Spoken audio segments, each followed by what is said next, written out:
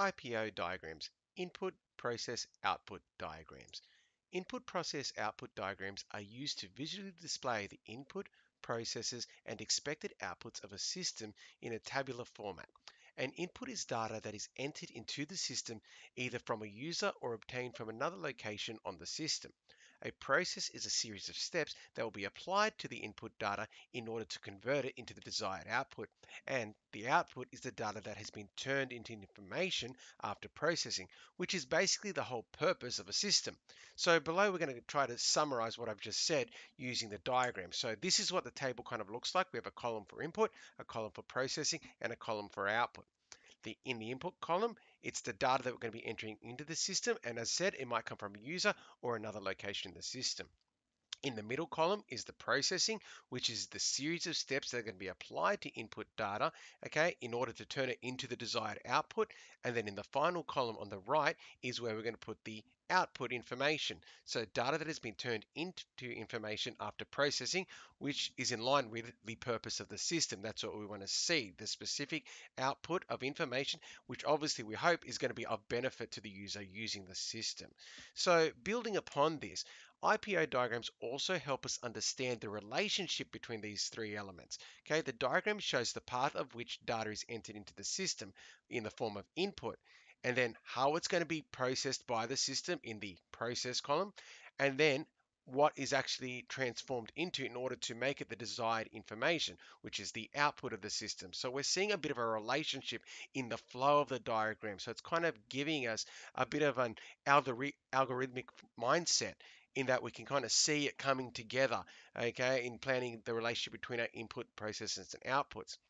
Now, it's not always the case, but sometimes it's a benefit writing the output first because usually we want to know what information are we going for? What do we want as our end product okay, of our system or program? And so we might write the desired output first. And then from there, what inputs do we need to get to that desired output? And then what processes will transform that input into the desired output.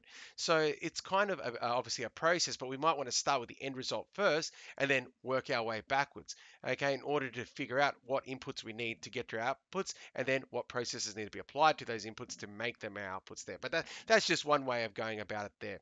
So essentially in the input column, what data needs to be entered for processing. Okay, so we're linking our inputs to processing in the processing column, what operations need to be applied to the data that was obviously entered in the input column in order to turn it into our expected output. And then finally, in our third column of output, what is the expected result we want to see after processing. So that is how they all kind of interlink together there. So what we'll do now is we'll look at a quick example for a basic calculator. So the program is going to be developed to allow a user to enter two different numbers. The software is going to either add, subtract, multiply, or divide these numbers at the user's discretion, displaying the result. So let's use this IPO diagram we have here in order to do so. And I'm going to do this as I kind of tried to illustrate in the previous slide. And I'm going to say first and start off with my output. And what I want as my output is essentially the result of the calculation. Okay, so that's what needs to take place there. What I've got to do next is I'm going to say, well, what am I going to be inputting to the system in order to do the processing? So firstly, I need number one because the user's going to enter in two different numbers. So I can put in their first number, which the system then needs to save as a variable. Okay, and I'm going to call that variable number one. I'm also then going to put in number two. And same thing, we need to save that as a variable, and I'm going to call that variable number two.